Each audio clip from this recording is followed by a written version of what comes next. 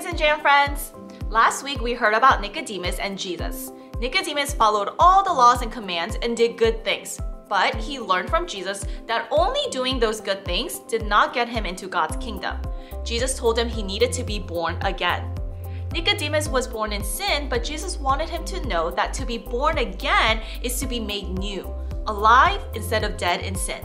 But Nicodemus was still confused. He had always thought that keeping God's laws was enough to save him. What Jesus was telling him was very different.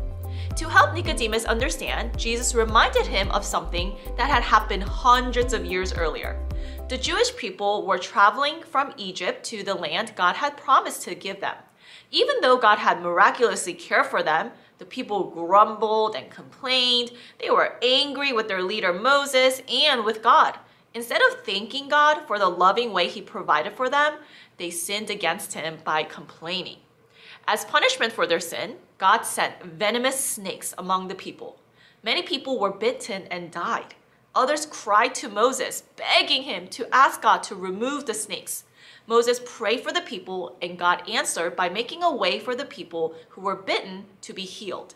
God, told Moses to make a snake out of bronze and lift it up on a pole. God told Moses, Anyone who looks at the snake of bronze will live. Moses followed God's instructions. The bronze snake was lifted high on a pole, and Moses told the people that anyone who looked at it would be healed.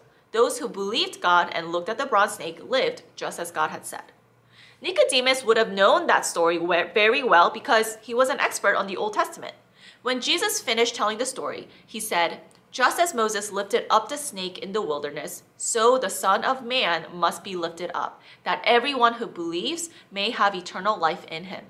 Jesus was telling Nicodemus that he was going to be lifted up on a cross. He would die for the sins of the whole world. Then Jesus told Nicodemus the best news ever.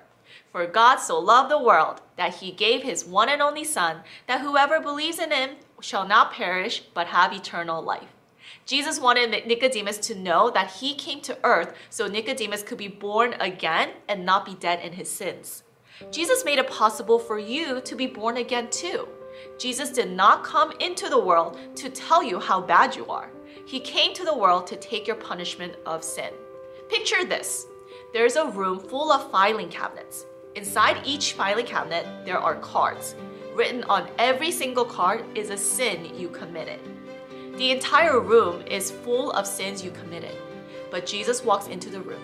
He opens the filing cabinet, takes out a card, and signs his name on it. He takes out another card and signs his name on it. He does this to, to every single sin you committed, saying you are forgiven. Believing that Jesus saves you from your sin is called salvation. And let me tell you, salvation is a gift. You don't have to do anything to earn it. You just simply accept Jesus into your heart and believe on him. That's it. Jesus already died on the cross for you. He is waiting to give you new life. When Jesus bled and died on the cross, all your sins were put on him. Jesus didn't have any sin of his own, but he willingly gave his blood so you could be forgiven and not be dead in your sins anymore. When you believe in Jesus, he gives you new life and gives you the power to do good and live for God. That is good news. When you trust Jesus has done this for you, you are born again and are no longer dead in your sins. Nicodemus had so much to think about when he was finished talking with Jesus. Jesus cared for Nicodemus and told him true things that Nicodemus had never heard before. The Bible doesn't tell us what happened after Nicodemus um, talked to Jesus that night or if he ended up believing on Jesus. But there was evidence that Nicodemus did change and had a new life. The Bible mentions Nicodemus as one of the men who helped bury Jesus' body. This is this important Pharisee who had once come to Jesus at night was now showing others his love for Jesus. God had changed Nicodemus on the inside. He was born again, a new person because of Jesus. If you've been born again, you are a new person because of Jesus. Jesus has changed you on the inside, so now you can live to please God. Maybe you believed in Jesus. Before you believed in Jesus, you said a lot of bad words when you were angry. but now God is helping you to change the way you talk. Or maybe you used to be disrespectful to your parents or teachers, but now God is helping you to show respect to them. God gives you the power to say no to sin.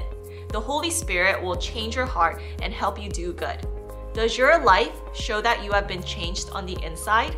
Take time each day to thank God that you are a new person in Christ. Ask Him to help you do good.